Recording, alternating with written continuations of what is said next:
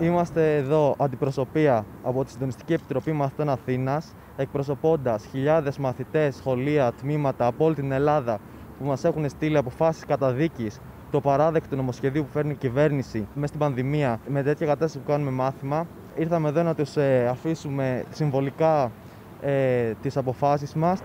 Μαζί με τους μαθητές για να ε, στείλουμε μήνυμα στο Υπουργείο Παιδείας. Πρώτον, να πάρει πίσω τις εξαγγελίες για τον τρόπο πρόσβασης ε, στην τριτοβάθμια εκπαίδευση. Και δεύτερον, ότι απαιτούμε και διεκδικούμε να πάρθουν τώρα μέτρα ώστε να έχουμε ασφαλές άνοιγμα των σχολείων μετά τις γιορτές. Η κυβέρνηση για δεύτερη φορά, εν μέσω πανδημίας, φέρνει και ψηφίζει ένα νόμο αντιεκπαιδευτικό ε, για την ε, επαγγελματική και τεχνική κατάρτιση ένα νόμο ο οποίος ε, υποβαθμίζει ε, την επαγγελματική εκπαίδευση.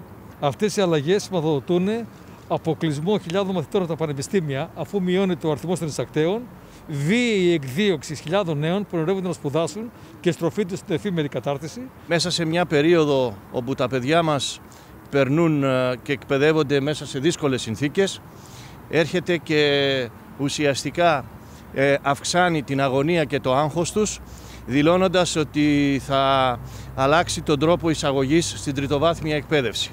Απαιτούμε να μην αλλάξει το σύστημα εισαγωγής στα ΑΕΗ στη μέση της χρονιάς και να προωθούν μέτρα στήριξης των μαθητών και ιδιαίτερα αυτή τη χρονιά λόγω της πανδημίας. Είμαστε χιλιάδες. Δεν θα τους αφήσουμε να μας καταστρέφουν τα όνειρα και να μας κάνουν πειραματόζωα. Να μας ανακοινώνουν ότι θα αλλάξει ο τρόπος εισαγωγής στα πανεπιστήμια πέντε μήνες πριν δώσουμε εξετάσεις, χωρίς να ξέρουμε καν την ύλη που θα δώσουμε. Τους λέμε ξεκάθαρο ότι δεν θα περάσει αυτό. Ως γονείς στεκόμαστε δίπλα στα παιδιά μας ε, γιατί τα παιδιά είναι το μέλλον και η ελπίδα του τόπου. Να επιβάλλουμε ακριβώς αυτό που είναι σήμερα αναγκαίο, ότι τα σχολεία πρέπει να ανοίξουν και πρέπει να ανοίξουν με ασφάλεια και υγιεινή. Δεν πάει άλλο αυτή η κατάσταση, δεν θέλουμε να χαθεί άλλη μια χρονιά για τα παιδιά μας, δεν πάει άλλο αυτή η κατάσταση με τα ζητήματα υγείας που η κυβέρνηση τελικά λειτουργεί με βάση το κέρδος του ιδιωτικού τομέα. Θέλουμε να επιταχθεί ο ιδιωτικός τομέας υγείας για να εξασφαλιστεί η ζωή όλων των εργαζομένων και ταυτόχρονα να γίνουν οι αναγκαίες προσλήψεις σε υγεία και παιδεία για να εξασφαλιστούν και τα δύο. Και η υγεία μας αλλά και το άνοιγμα των σχολείων.